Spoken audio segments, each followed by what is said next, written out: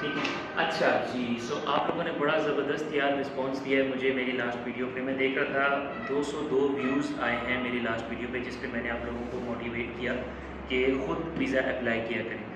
अगर तो 202 व्यूज़ अभी तक आ चुके हैं दो दिन में तो दैट मीन्स कि मेरी रिस्पॉन्सिबिलिटी है कि मैं इन 200 लोगों को लाजमी जो है वो प्रॉम्पली रिप्लाई बैक करूँ। और मज़ीद उनको मैंने ये सोचा है कि क्योंकि मैं लास्ट तकरीबन सात आठ कंट्रीज़ में चला गया हूँ तो मैं आप लोगों को वही घिसा पेटा नहीं बताऊँगा। मैं जिस कंट्री का आपको बताऊँगा, उस कंट्री का वीज़ा मैं अप्लाई भी करूँगा और उस कंट्री में मैं जाके घूमूँगा, फिरूँगा। सो आज बात करेंगे हम लोग टर्की तुर्की के वीज़े की। और मैं क्योंकि मैं इस्लामाबाद से ताल्लुक़ रखता हूँ, इसलिए मैं आपको इस्लामाबाद से तुर्की के वीज़े की इंफॉर्मेशन दूँगा। और मैं आपको इस्लामाबाद का ही बताऊँगा कि इस्लामाबाद से आप कैसे अप्लाई कर सकते हैं। ऑलमोस्ट बाकी जगहों के भी सेम रूल्स होते हैं लेकिन जिस चीज़ की मेरे पास करेक्ट और कंफर्मेशन नॉलेज है ना मतलब कंफर्म नॉलेज है, वो मैं दूँगा आपको। सो so, तुर्की का वीज़ा यार स्पेशली मैंने सबसे पहले तो एक लिस्ट देखी। तुर्की की जो है वो मैं पहले वीडियोस मैंने बहुत सारी देखी फिर मैं तुर्की की वेबसाइट पे गया टर्किश एम्बेसी की। वहाँ पे ईच एंड एवरीथिंग मेंशन है बट फिर भी लोगों को नहीं समझ आती। तो सबसे पहले तो मैं आपको बताऊँगा कि मैंने किया क्या और फिर मैं उसके बाद आपको डॉक्यूमेंट्स बताऊँगा। सो so फ्रेंड्स सबसे पहले मैंने सिंपल सा काम किया सारे डॉक्यूमेंट्स देखे। डॉक्यूमेंट्स में आपको थोड़ी देर बाद बताता हूँ क्या हुआ। चलो स्टार्ट से लेके चलते हैं। डॉक्यूमेंट्स कोई लंबे चौड़े डॉक्यूमेंट्स नहीं हैं। सिंपल देखें मैं क्योंकि मैं एक बिज़नेस मैन भी हूँ मेरा अपनी मेरी कंपनी भी है मैं बिज़नेस भी चलाता हूँ बिज़नेस भी रन करता हूँ। मैं पर्सनल मेरी अपनी रिटर्न भी है मेरी बिज़नेस की रिटर्न भी हैं। तो सब सबसे पहले मेरी एक वीडियो खैर है चलती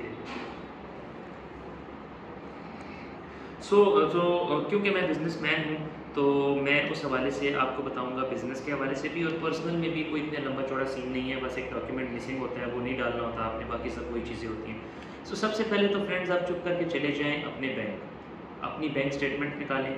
लास्ट सिक्स मंथ्स की मैंने जो मैंने चीज़ें लगाई थी मैं आपको बता देता हूँ। लास्ट सिक्स मंथ की मैंने अपनी बैंक स्टेटमेंट लगाई थी अपने बिज़नेस अकाउंट की और अपने पर्सनल अकाउंट की। अगर आपका बिज़नेस नहीं है तो आप सिर्फ़ पर्सनल अकाउंट की लगाएँ।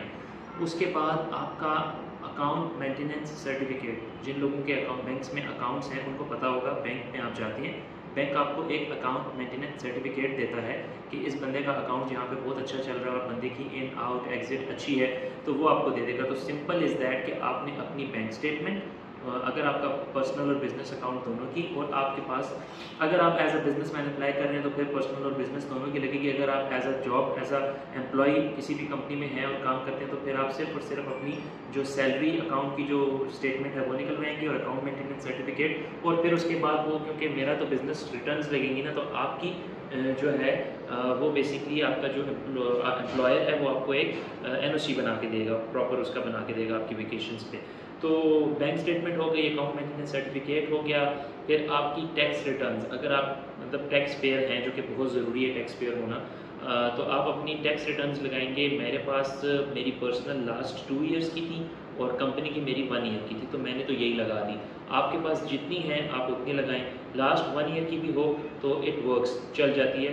तो आप एक एक साल की लास्ट अगर दो साल की पड़ी है तो लगाएँ लाजमी, अगर नहीं है तो फिर एक साल की आप लगा सकते हैं। उसके बाद आपने अपने जो जितने भी टैक्स रजिस्ट्रेशन सर्टिफिकेट है मतलब मेरा बिज़नेस का भी था पर्सनल भी था, मैं बार बार मेंशन कर रहा हूँ कि आपका टैक्स रजिस्ट्रेशन सर्टिफिकेट हो गया, आपकी टैक्स रिटर्न्स हो गई, आपके पासपोर्ट की स्कैन कॉपीज़ हो गई। मेक श्योर sure कुछ कंट्रीज़ जो हैं, वो आपके पासपोर्ट की सारी कॉपीज़ लेते हैं। जैसे कि यूके कहता है कि हमें आपके जो पासपोर्ट की जो पेजेस हैं, जो यूज़ हुए हुए हैं हमें उनकी भी कॉपीज़ चाहिए और जो यूज़ नहीं हुए हुए उनकी भी चाहिए। तो मैंने, क्योंकि मेरे पास यूके का एक कॉपी सेट पड़ा हुआ था तो उन्होंने मुझे वो डॉक्यूमेंट्स वापस कर दिए। वो जो मेरे पासपोर्ट के जो पेजेस थे, वो यूज़ नहीं हुए हुए थे। वो उन्होंने मुझे वापस कर दिए। तो आपके पास जितने भी पुराने या न्यू पासपोर्ट हैं, उस पर जितने भी यूज़ पेजेस हैं, जहाँ जहाँ पे स्टैम्प हुई हुई है, वो आपने अपने पासपोर्ट की कॉपी लगानी है। आपका फैमिली रजिस्ट्रेशन सर्टिफिकेट और अगर आप मैरिड हैं न्यूली मैरिड हैं तो आपका मैरिज रजिस्ट्रेशन सर्टिफिकेट आपका लगेगा।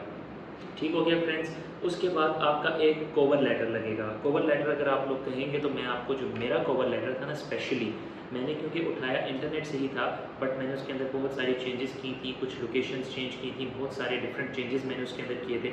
सो so, आपका भी एक कोवर लेटर अटैच होगा। आ, मैं अपना कोवर लेटर जो है वो उसकी डिस्क्रिप्शन में अपनी वीडियो की डिस्क्रिप्शन में लगा दूँगा ताकि आप उसको एज इट इज़ ये चेंज कर लें थोड़ा सा अपने वर्डिंग में उसको ले आए तो दैट इज़ रियली बेटर फिर टर्की आपसे जो है सबसे इम्पोर्टेंट चीज़ माँगता है वो होटल की रिजर्वेशन और फ़्लाइट रिजर्वेशन अच्छा मैं आपको पर्सनली सजेस्ट करूँगा, मुझे तो एक लाख दस हज़ार रुपये की पक्की पड़ गई थी, क्योंकि मुझे पता नहीं था कि मेरा जो क्रेडिट कार्ड है वो मेरे अरोडा के साथ कनेक्ट है। मैंने डायरेक्टली होटल बुक किया और वो randomly four star hotel book हो गया और मुझे पता ही नहीं चला और मेरे one lakh ten thousand rupees cut गए।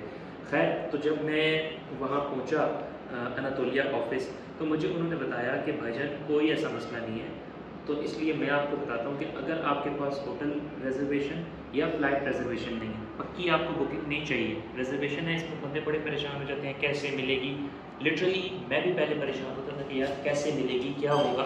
यार, कोई मसला नहीं है। मैंने तो खैर अपनी फ़्लाइट रिजर्वेशन कतर एयरवेज़ के अंदर एक ऑप्शन होता है, आप तीन चार हज़ार रुपये पे करके रिजर्वेशन ले सकते हैं। वो एक दिन की या दो दिन की होती है। तीन दिन की करेंगे तो ज़्यादा हो जाएगी। वो उसकी, देखिए, मैं आपको सिर्फ़ मोटिवेट करूँगा और डॉक्यूमेंट्स बताऊँगा। चीज़ें बेतहाशा वीडियोस पड़ी है। यार, मैंने भी वीडियोस यूट्यूब की वीडियोस देखे। मेरे पास टू मोनीटर सेटअप है। इधर मैं वीडियो चला रहा हूँ, यहाँ पे मैं वर्किंग कर रहा हूँ। तो बहुत इजीली आप रिजर्वेशन ले सकते हैं, लेकिन स्पेशली टर्की के केस में हम मोस्ट प्रॉबेबली हम वीडियो भी बनाना शुरू करेंगे कि अगर आपने खुद रिजर्वेशन लेनी है क्योंकि हर एम्बेसी नहीं देती, लेकिन जो टर्की का जो अनातोलिया ऑफ़िस इस्लामाबाद में मौजूद है, मैं उसकी लोकेशन भी बताऊँगा ईच एंड एवरीथिंग लेकिन अभी हम डॉक्यूमेंट्स पे चल रहे हैं। तो उन्होंने मुझे कहा कि, ब्रदर, हम आपको खुद भी फ़्लाइट रिजर्वेशन और वो बुकिंग रिजर्वेशन होटल रिजर्वेशन करके दे देते हैं। तो आपको कोई ज़रूरत नहीं है खुद से जो है वो रिजर्वेशन कराने की।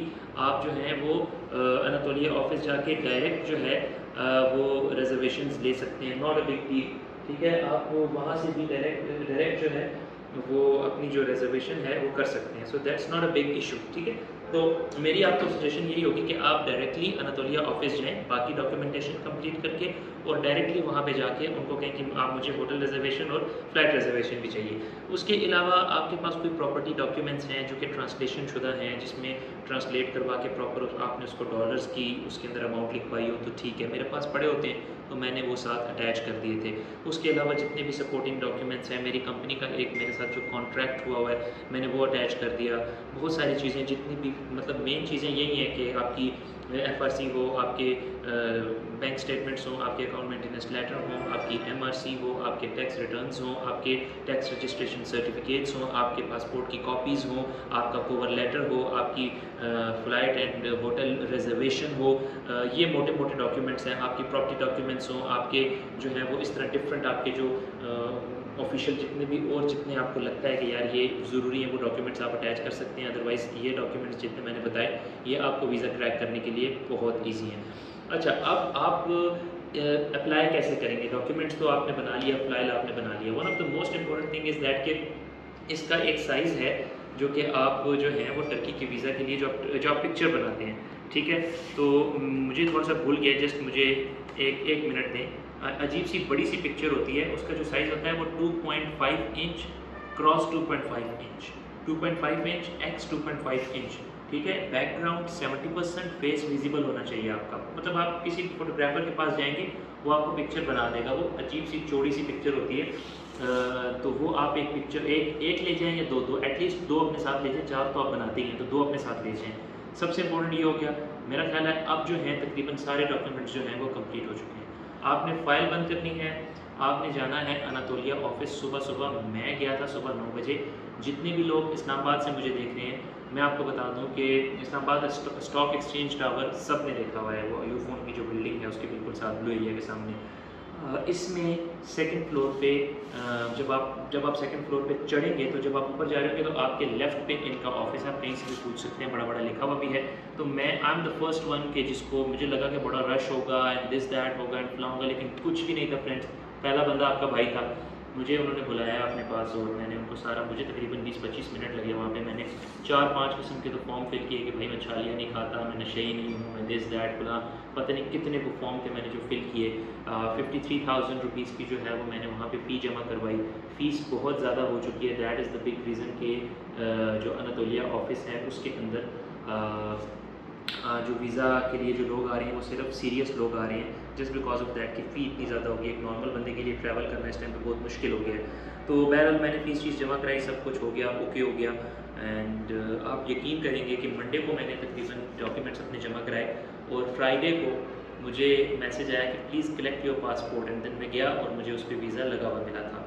सो so, ये सिनेरियोज़ हैं फ्रेंड्स तो फाइनली जो मुझे टर्की का वीज़ा है वो मिल गया। और तकरीबन इट्स बीन अ मंथ कि वो मेरे पास पड़ा हुआ है। आ, मैं आपको और भी कंट्रीज़ की इन्फॉर्मेशन दे सकता हूँ।